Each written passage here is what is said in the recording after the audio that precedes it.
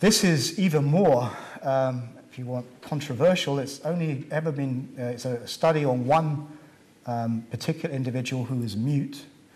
And here they've implanted uh, electrodes into speech areas of the brain um, and recorded the activity of these uh, in, and uh, passed it through uh, various analytical systems to drive uh, a speech synthesizer. And this individual was able to therefore use, with feedback obviously from the synthesizer, um, and hearing what it was saying, or hearing what they were producing, uh, recognizable speech uh, through changing the activity of the speech centers of their brain, which is quite remarkable. It's actually, PLOS One is maybe not the best journal in the world, but um, it, it's, it's kind of, it, it, does almost beg a belief, but it, it's certainly the kind of things that I expect to see happening um, with neuroprosthesis of all sorts of kinds uh, over the next 25 years.